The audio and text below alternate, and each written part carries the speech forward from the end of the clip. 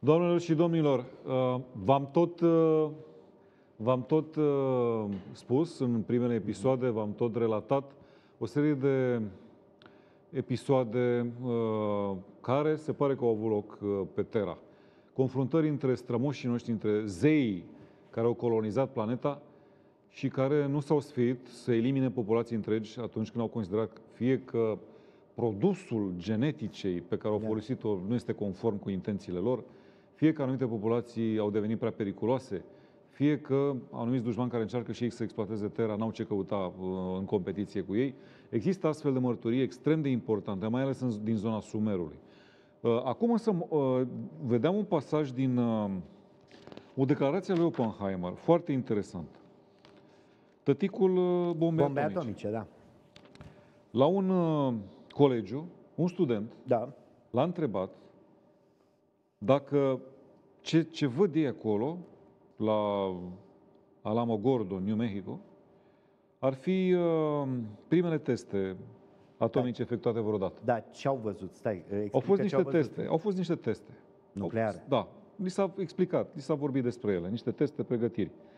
Uh, el ținea, Oppenheimer ținea cursul la un colegiu, iar un student l-a întrebat dacă e primul test efectuat vreodată. Asta a fost în istoria umanității. În istoria da. umanității. Și el zice, da, în vremurile moderne.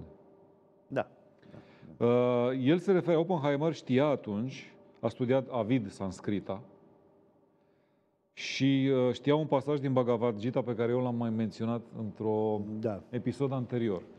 Episod care uh, a fost, uh, care a marcat pe mulți dintre, i-a marcat pe mulți dintre telespectatorii noștri și le reamintesc, uh, o să le reamintesc curând despre ce este vorba.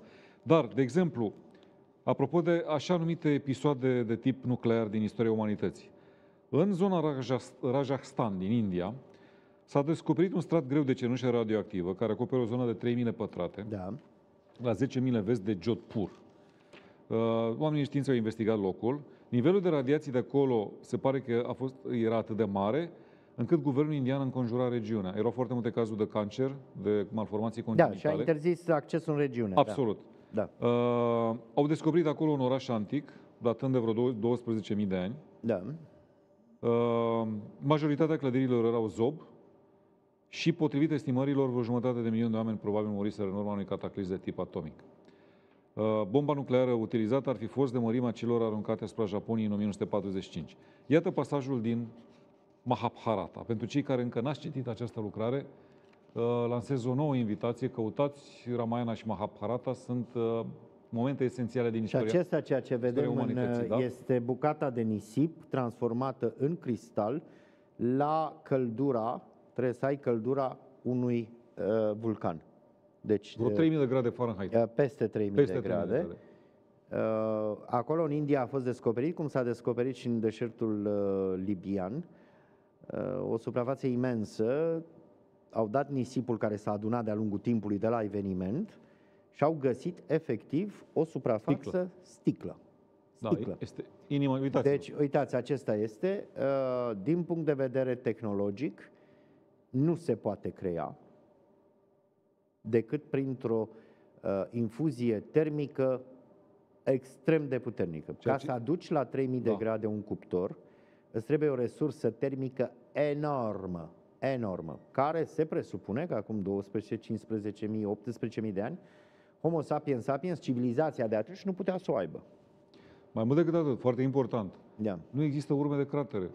De, uh, da, înseamnă că explozia a avut de uh, loc deasupra da. Uh, de, deasupra la o anumită înălțime, exact adică cum nu există cataclism la... natural, urmele unui cataclism natural care să da. fi fost atât de incandescente când exact. se producă e, Dar uite fenomen. că în Yucatan, de exemplu, unde a căzut acel meteorit care se presupune că a ucis uh, uh, dinozaurii, în peninsula mm. Yucatan, nu s-a format sticlă.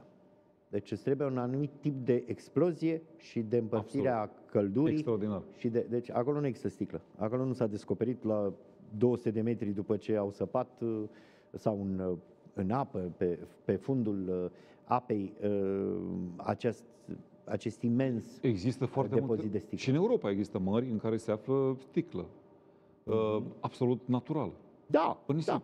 Da, Există da. foarte multe sticle de acest tip. Există sticla e nisip. Chiar și în sticla Sardinia. În Sardinia. Da, nu, dar, dar asta Există nu înseamnă că este pe, pe 3 mile pătrate și nu... Absolut. De, adică se pot explica, atenție, uh, ca să fim foarte clari, uh, valea de uh, tranșeul pe care îl formează, pe care îl formează acest, cum se cheamă, jetul de lavă pe care îl mm. expulzează un vulcan, el face un tranșeu lung, da. 2-3 metri lățime, etc., mm-hmm. adâncime și el de vreo 3-4 metri, pentru că el arde pământul. Mm Uh, da, se găsesc uh, uh, spații sticloase, uh-huh. dar acolo știm foarte clar din ce s-a format. Da. Din, din Aici e cu totul altceva. Aici e cu totul altceva. În primul rând în deșertul libian și nici în deșertul egiptean, care este o parte și în Israel. În Saad. Nu, da, nu a, nu a existat și nu există vulcani. Asta e foarte interesant. Mai mult decât atâta, ca să ne amintim foarte clar, uh, acest deșert în cel puțin deșertul Saharei, care este, în Sahara, care este cel mai mare, nu? Uh, s-au descoperit uh, urme de pești. Deci este clar că a fost mare și ocean. Mare sau ocean. Foarte important. Foarte important. Iată acel pasaj, da. nu mai puțin, din Ramayana da, da, da. și Mahabharata. Un singur proiectil, încărcat cu toată puterea Universului, o coloană incandescentă de fum și flacără strălucitoare ca 10.000 de sori. S-a ridicat în toată splendoarea sa a fost o armă necunoscută, un fulger de fier, un gigantic mesager al morții, care, s-a redus la, care a redus la cenușă o întreagă rasă. Cadavrele au fost atât de arse încât au fost de nerecunoscut. Părul și unghiile le-au căzut. Ceramica s-a rupt fără nicio cauză. Iar păsările au devenit albe. După câteva ore, toate produsele, ă, toate alimentele au fost infectate. Pentru a scăpa de acest incendiu, soldații s-au aruncat în râu. Sigur că e modernizat textul. E modernizat textul e modernizat. și chiar dacă te aruncai în râu, apa ardea. Apa ardea. Se spune că acolo apa ardea. Deci n-ai, uh, n-ai. În acest context, nu. Uh, n-am, uh, Câtă imaginație să ai ca, ca primitiv să faci astfel de descriere? să fi văzut așa ceva. Sau să fi preluat o legendă a unui martor. Absolut.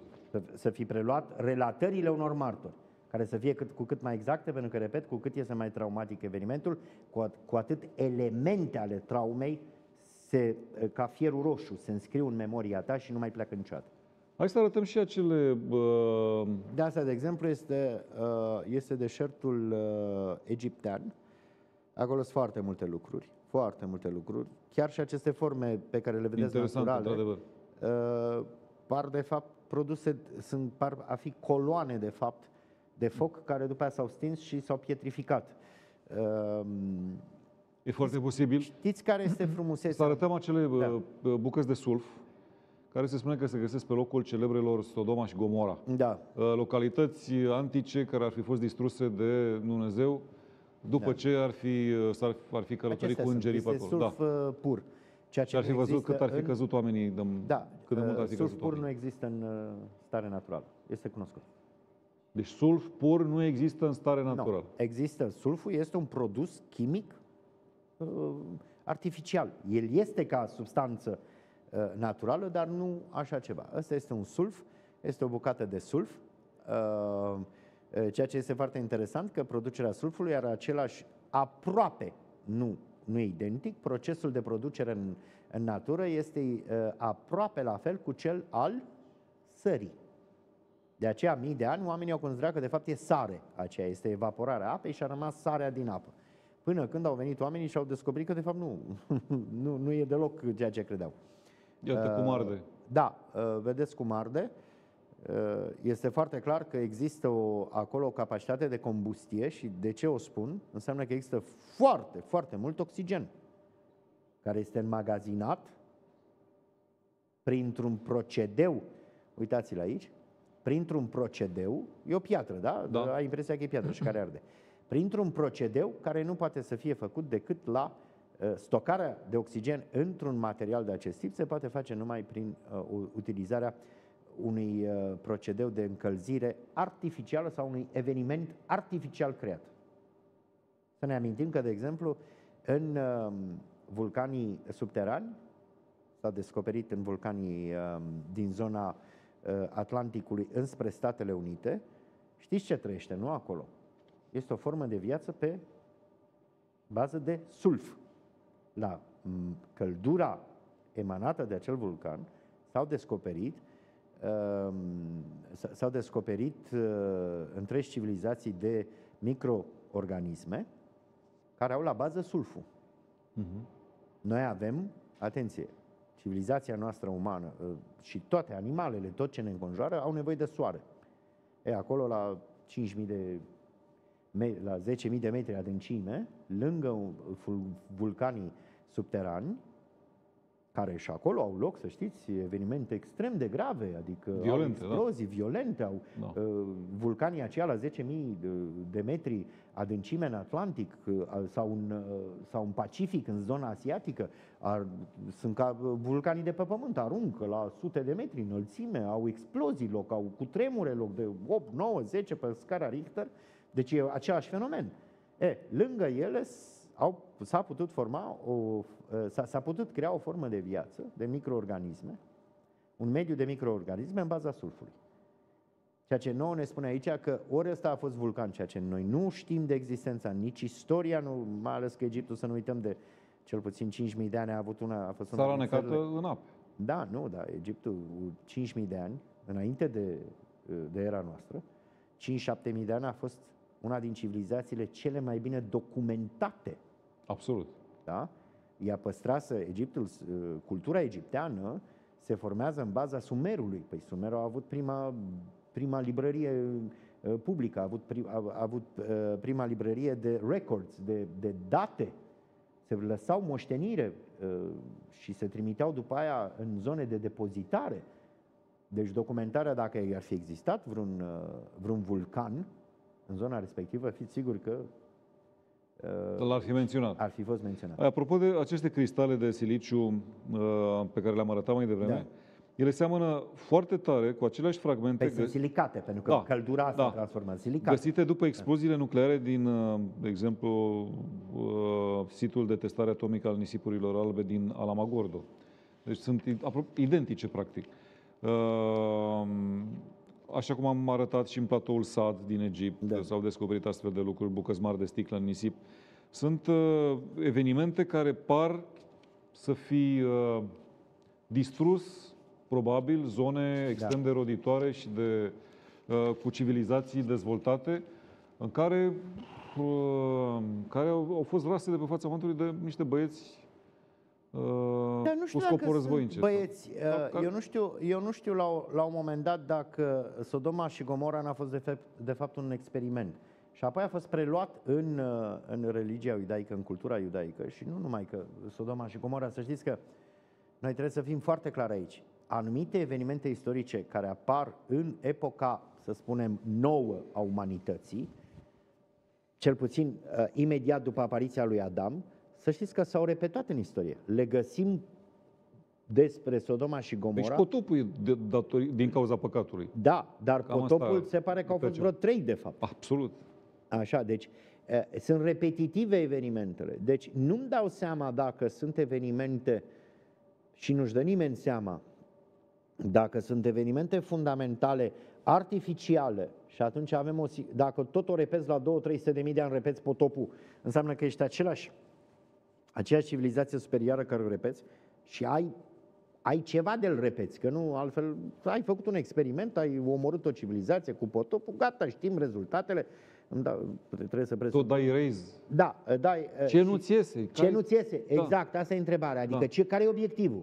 După aceea... Sunt pasaje în, în Biblie. Da. Dumnezeu s-a căit Da, nu, pentru că nu, nu i-a plăcut ce a creat. da, nu știu. Și se gândea nu-mi dau să- seama. apropo de potop, apar că astea. sunt întrebări care, să știi că aceste întrebări pe care noi le punem la televiziune în secolul 21, probabil că și le-a pus și Platon acum 4.000 de ani. Da. Că inteligența umană nu s-a schimbat. Să știi, logica e aceeași. Și dacă înveți logica cum trebuie, ajungi la aceleași întrebări pe care și le-a pus și ăla care stătea pe o piatră arsă în Elada. Da? Absolut. Și nu zi, nu n-avea lunetă să se uite la soare. Da? Și le- identic și le-a pus, ca și noi acum care avem uh, roboței pe Marte. Deci întrebările logice sunt uh, automate comune tuturor culturilor, indiferent de vechime. Deci, uh, ce ai vrut să arăți? Uh, Ce civilizație era de ai bombardat-o atomic? Sodoma și Gomora putea fi distrusă numai prin otrăvirea apei și să termina povestea. Absolut. Nu trebuia să faci De- o, Demonstrația. o demonstrație. Uh, și totuși, demonstrația cui a fost dată? Popo- popoarelor? Nu. Nu.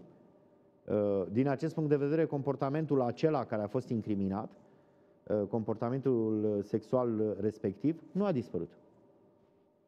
Și n-are cum să dispară. Pentru că este o variantă naturală. Adică a- am fi uh, Um, pasibil să suportăm aceleași consecințe? Cam așa. Astăzi? Și atunci întrebarea mea este, stai o clipă, ce faci? Că doar tu ne-ai creat.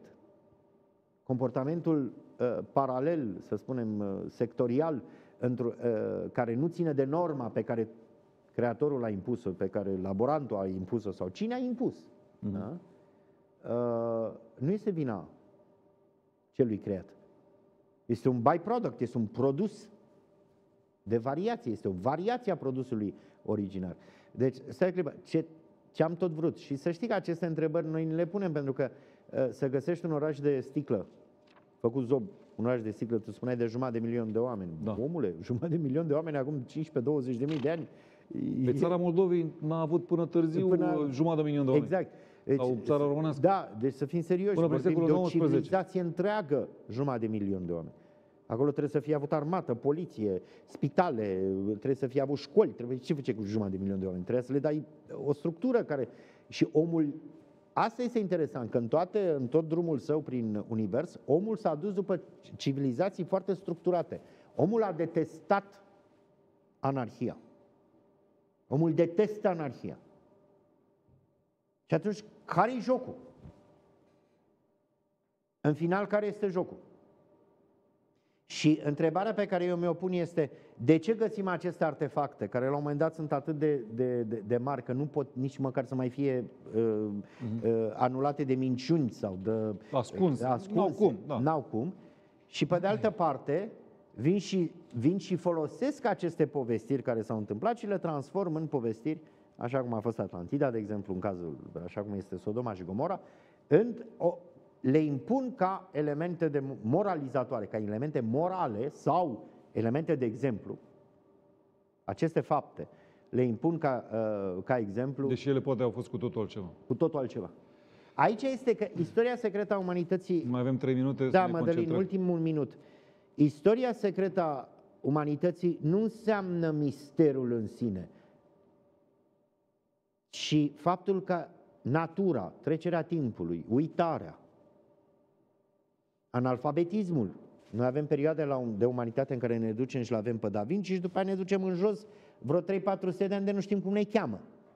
De ne întrebăm ce, cum ăla a fost atât de vârf Și noi suntem atât de praf. și noi suntem atât de praf. Cum am avut totuși un secol de mari muzicieni și acum avem niște muzicieni care, uh, adică niște compozitori pe care Dumnezeu cu mila, nu, nu, poți să, nu poți să le asculți muzica.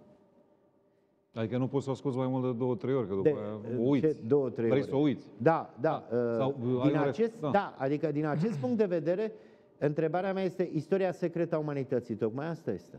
Nu ea este secretă că cineva o impune secretă, ci pentru că noi uităm. E darul Mai umanității mult să uite. de, eu totuși cred că sunt interese serioase. Nu, o asta parte, o intrăm parte, în teorie ale conspirației. Nu, nu, de ce? Păi sunt dovezi în acest sens. Sunt foarte multe uh, structuri uh, în serviciile secrete, în zona academică și așa mai departe, care vin tot pe filiera serviciilor secrete și care au împiedicat de multe ori oamenii onești să-și facă cercetările pe bune în Da. anumite zone. Sunt niște uh, decizii legate de modul în care se predă istoria, sunt niște pasaje din istoria umanității care sunt scoase efectiv din manuale. Eu n-am văzut niciodată acele cranii alungite și acele imagini cu farfurii zburătoare uh, cu discurile zburătoare și aceste pasaje din Ramayana Mahabharata, din istoria Greciei, în care se vorbește de discuri zburătoare, Tu în băgate în școală ai manuale, văzut- băgate în manualele istorice. Tu în școală ai văzut documentul istoric prin care se arată că prima rachetă europeană a fost construită de către un român în Sibiu, în 1770 și ceva? Nu. Păi nu, sunt o mulțime de momente din istoria umanității care lipsesc. De-aia vorbim de istoria secretă a umanității. Pentru că, din păcate, sunt pasaje care sunt scoase în continuare ca nevul da, mediu. Da, da. Uh, Nu ca nevul mediu, ca la formarea ca civilizației. la formarea civilizației La sunt eliminate. formarea oricărei civilizații se scot pasaje care nu corespund obiectivelor acelei A, absolut, civilizații. absolut. Dar să știi un lucru, să fim foarte clari. Că am descoperit la un, uh, la un strat geologic care înseamnă 25.000 de ani, acum 25.000 de ani, un artefact, sau că l-am descoperit acum 100 de ani, la, un, la o diferență iarăși de 15.000 de ani, este regulă. Artefactele sunt absolut aproape identice și obiectivul producției lor este identic acum 20.000 de ani și acum. Închei această emisiune că nu mai avem timp. Da, Din da. nou nu mai avem timp să vorbim, de, să vorbim despre ADN Data și viitoare. codarea ADN-ului. Trebuie să o facem viitoare. de la început, să începem cu ADN-ul. Pentru că aici este o cheie, este ceva extrem de important legat de ceea ce ni se întâmplă și de uh, originea noastră și de ceea ce am putea să obținem de la, uh, de la noi, pentru că în acest moment nu suntem poate cel mai drăguț produs al uh, așa. Uh, mi-aduc aminte că un cercetător român care a murit și care n-a vrut să-mi dea acea poză niciodată, mi-a arătat într-una din emisiunile mele mai vechi Mhm. o fotografie cu niște conducte dintr-un sit arheologic din România. Dintr-o zonă arheologică în care sunt situri vechi, în zona Da. dacilor. Da. Uh, într-un uh, sit predacic și preneolitic. Preneolitic, atenție, este uriașă descoperirea, era uriașă, dar omul a murit între timp și probabil că s-a dus cu el, odată cu el această istorie. Secretul. Secretul. Am văzut conducte din material ceramic, foarte late, mari, care erau ștanțate. Dintr-un, sper- din perioadă preneolitică. Uriașe. Uriașe. Artefacte cu aceeași construite atunci și acum. Ștanț. Cu același Ce obiectiv. presupune asta? Că erau obiective de fabrică. Sigur că da. Sigur că da. Și erau ștanțate de ce? Pentru a fi identificate ca să se ducă să cumpere, dacă se strică, să cumpere din același loc. Mulțumesc foarte mult pentru Eu prezență, HD Harman, le mulțumim tuturor Doamne celor ajută, care ne-au toate urmărit cele și bune. astăzi. Sperăm că v-a plăcut și acest episod. Ne întoarcem uh, cu episodul 8 pe care îl pregătim temeinic. De asemenea, rămâneți cu Metropola TV, ne revedem mâine seară de la ora 21. Un invitat pe care l-ați primit uh, foarte bine în urmă cu ceva timp și care revine și are foarte multe de spus. Toate cele bune!